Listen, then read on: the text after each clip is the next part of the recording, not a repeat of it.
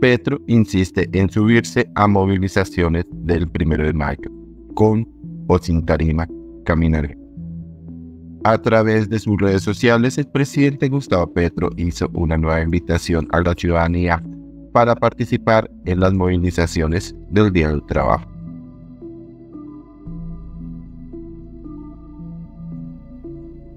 De acuerdo con lo dicho por el propio mandatario, se espera que este miércoles dé un discurso enfocado en lo que serán los próximos meses de su gobierno, especialmente en materia de reforma, presupuesto y de la idea de llevar a cabo una constituyente.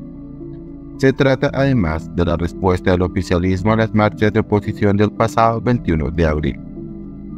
Desde hace varios días se tiene previsto que el jefe de Estado camine por algunas calles de Bogotá y luego llegue a la Plaza de Bolívar para dar un discurso en tarima. Sin embargo, hoy algunos sindicatos dieron a entender que el distrito no habría autorizado la instalación de ese escenario, lo que generó una reacción de Petro a través de su cuenta de X. Según el mandatario, aún con ese panorama, su plan de marchar por la capital sigue en firme. Con o sin tarima caminaré en la marcha del 1 de mayo. Los y las invito a acompañarme. Muchas veces han intentado silenciarme y silenciar al pueblo. Para evitarlo están los megáfonos.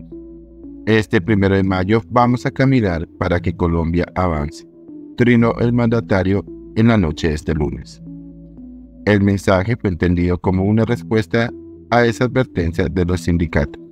Sin embargo, rápidamente el alcalde de Bogotá, Carlos Fernando Galán, aclaró que no se ha prohibido el uso de la tarima, sino que se presentaron varias solicitudes de sindicatos diferentes.